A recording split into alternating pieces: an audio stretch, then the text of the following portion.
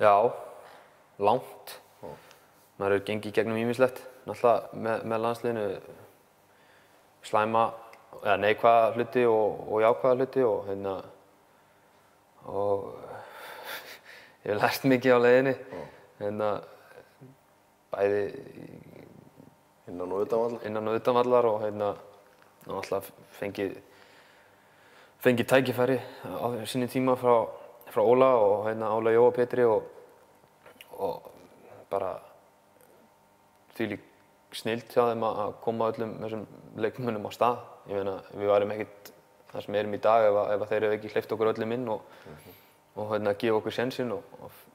fer stendur svona smá í töðunar á mig ég sé leikmönnum vera að tala íllum, íllum fyrir um þjálfóran sína. Það, er, fer svona smá í, í töðunar á mér. Þó að það ekki gengi kannski vel, en þeir voru menninni sem að koma okkur á stað og gáum munum tækifæri. Og hérna, á náttúrulega komin tími kannski á kynslaðarskipti og, og ég heldur sem bara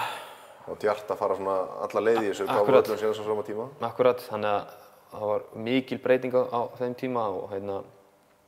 og svo núna náttúrulega erum við að erum við að hérna, ná úrslitum og þetta fær hérna Lars náttúrulega allan heiðurinn á því því hann náttúrulega er þjálfarinn eins og er en, en þetta er, þetta er mikið Óla og Pétur að þakka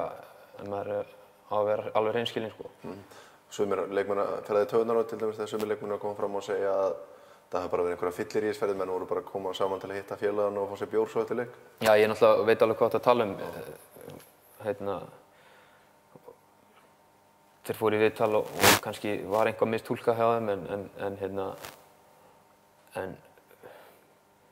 veist, þetta var ekkert, þetta var ekkert fyllir í sverðir, ég get alveg sagt þér það, þó að það hafi komið fyrir sem að menn fóru, kíkt á lífið eftir leiki,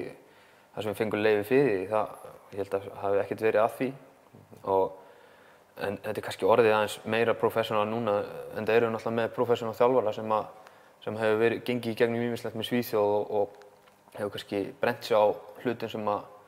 sem að he- hefur komið fyrir áður, sérstaklega eins og með Zlatana sem hann hefur nefnt áður, sem hann þurfti að henda honum heim út af einhverju sem að gerðist og, og hann hefur bara kannski brent sig á því og þess vegna er hann bara með þetta allt á hreinu, menn þurfa bara að hlýða þessu. En á, á sínu tíma fengum við náttúrulega bara leiði til þess að kíkja út eða gera hvað sem er, fara í bíó. Og það var allt í meina og það fór, já, það fór í töðunar að sjá þetta á netinu en ég held að þeir hafa ekkert verið að segja þetta. Ég held að þetta hefur allt verið svona kannski mistúlkað en þeir hafa kannski nefnt þetta einhvern veginn þannig séð. En það er ekkert no hard feelings sko við, við þá tvo, Gulla og, og Nóra Smára. Þetta eru flotti gaurar og ég held að þeir séu aldrei að fara að skýta út sína hérna í landsliðinu, það er bara, er ekki sén sko